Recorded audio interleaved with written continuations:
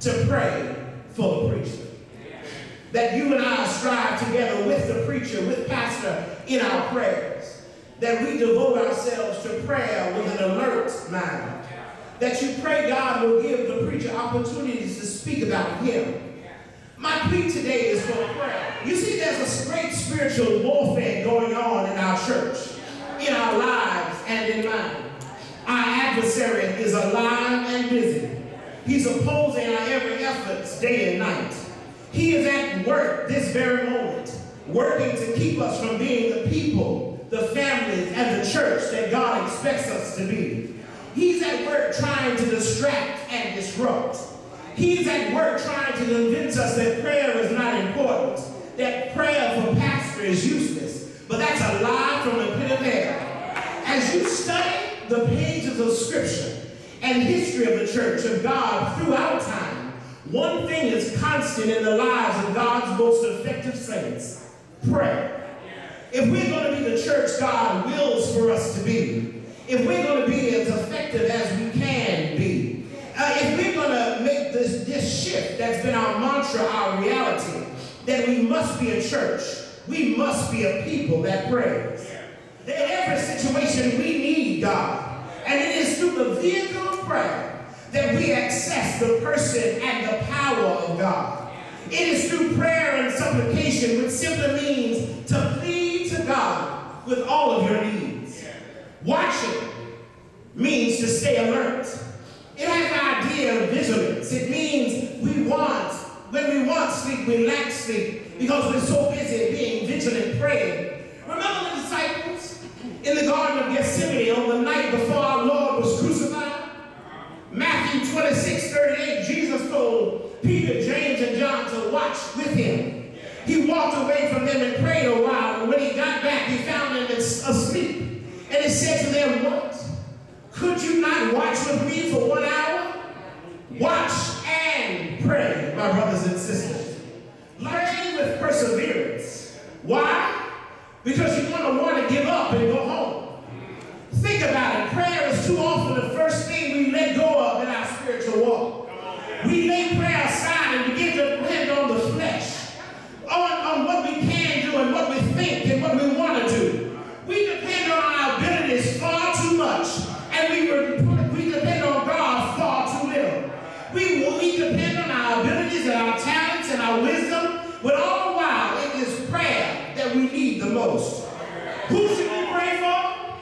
Surely you'll pray for yourselves.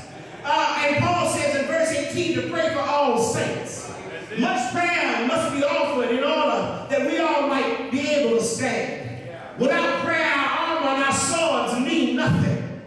Prayer list is helpful. Declare, write some names of people that you're duty bound to pray for. But you really don't need a prayer list to pray for one another. All we need is to wake up from our slumber, to consider one another and begin to pray. Don't just pray for all the saints. Pray for the preachers. Yes, you must pray for yourselves and for one another. But today, Bishop and I want to implore you to pray, as Paul, as Paul said in Ephesians, pray for the preacher. That is, I beseech you to pray for your pastor. Some of you do. When we're praying for pastor, he'll find courage to do the difficult things that he must do. And he'll find great accountability to walk in holiness and purity. When we pray,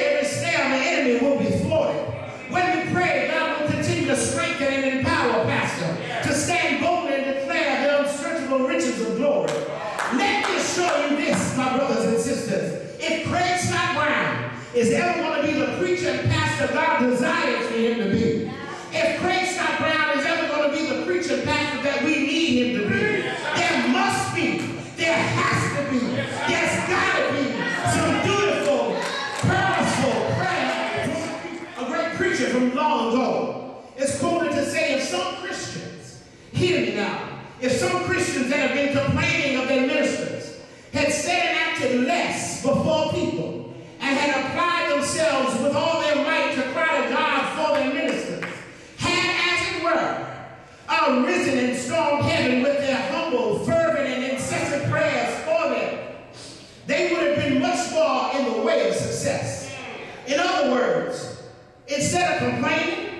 Instead of murmuring, instead of questioning, instead of telephone duty, get down on your knees and due some knee doing.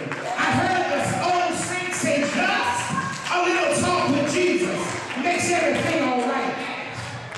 Did you know that 700 pastors leave ministry every month, do to world